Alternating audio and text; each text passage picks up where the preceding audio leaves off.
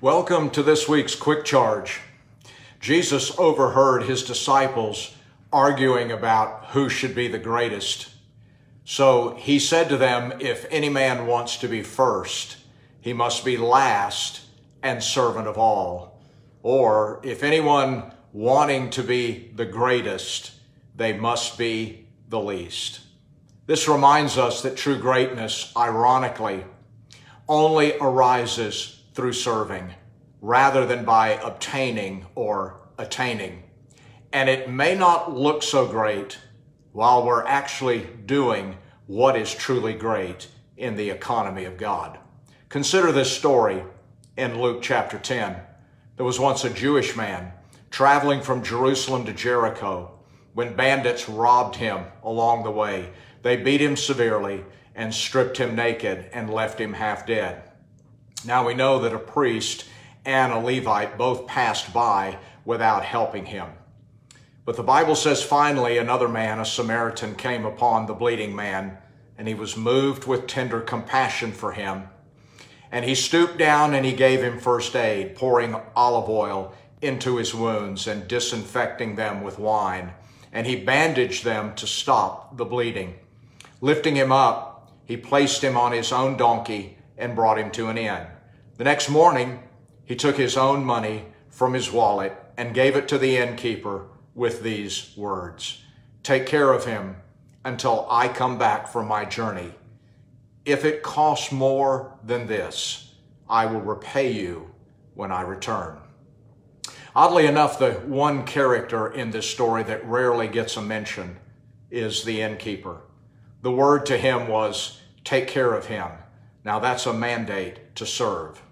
Even though the injured man can't repay him or can't contribute to the bottom line of his inn. He's not getting anything out of it. Yes, he's given money, but that won't be enough because he is advised it will cost more and it will cost him personally. Plus, the actual repayment is not to be immediate, not in a week or not in a year but when I return at the end. This task certainly wouldn't look very great or make him feel very great. That's why Jesus said in Luke 6:35, "Serve and invest, expecting nothing in return." So when we serve that which cannot serve us in return and cannot pay us back, we obtain true greatness. Jesus said in Luke 14, when you give a dinner or a supper, do not ask your friends or your rich neighbors, lest they also invite you back and you be repaid. But when you give a feast, invite the poor, and you will be blessed, because they cannot repay you. For you shall be repaid at the resurrection of the just.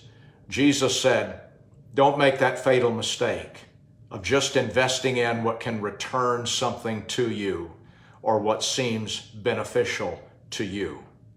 When we serve what cannot possibly profit us, that's actually the point. Jesus said, because they cannot repay you, you will be blessed later on and repaid at the end. So to disregard an opportunity to serve because it doesn't seem important or because we won't get anything out of it or it doesn't really do anything for us would be a fatal error and very flawed thinking because that's where the true greatness really is. And that takes real conviction. Join me next week for more of When Greatness Doesn't Look So Great. God bless.